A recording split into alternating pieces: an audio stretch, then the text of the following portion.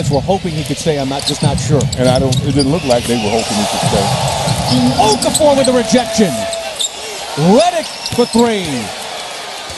And remember, this is what this. I love seeing these replay blocks. Well, he is so quick off his feet as Emeka Okafor. His quickness at his size is something that really serves him well.